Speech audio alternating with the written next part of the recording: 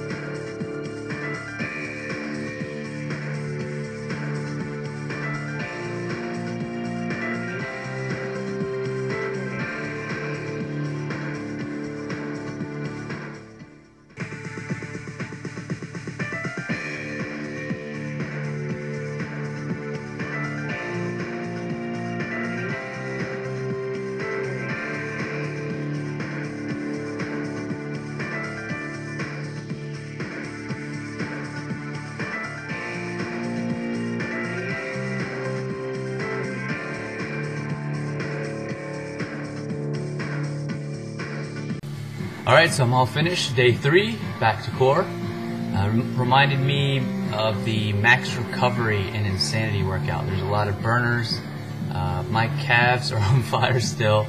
My lower back, my butt, all that stuff. I can definitely feel that we worked at the back of your shoulders and your back. Uh, definitely will kick your butt, no pun intended. Uh, for more information on the asylum, go to coachwoot.com. Recipes, motivation, nutrition plan made easy, all kinds of stuff.